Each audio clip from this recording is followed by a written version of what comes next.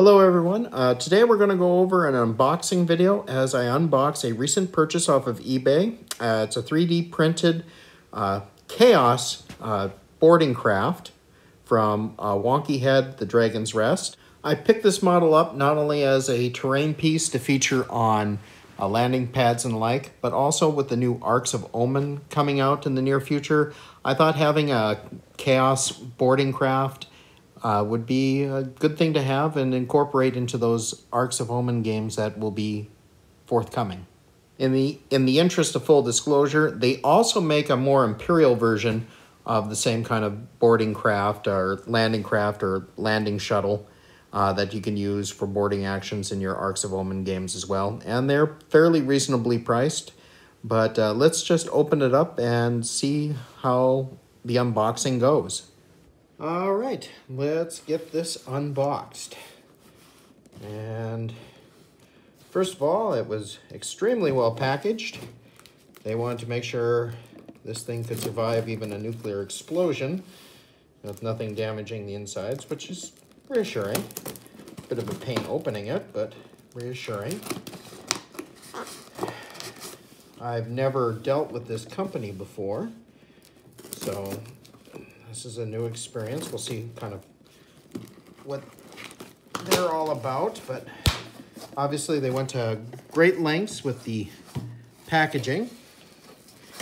And they have enough bubble wrap to make any five-year-old go nuts with joy. And yeah, here we go. Here are all the parts. And let's kind of go over it. You have your connecting parts. You've got door,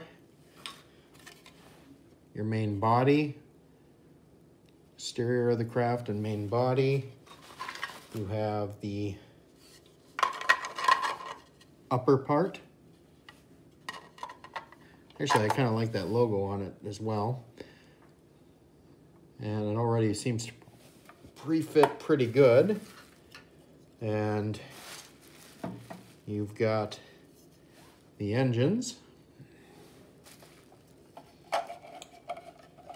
which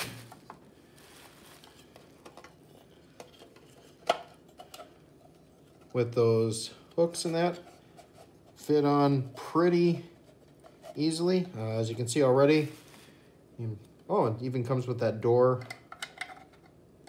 already set. So if I take this off,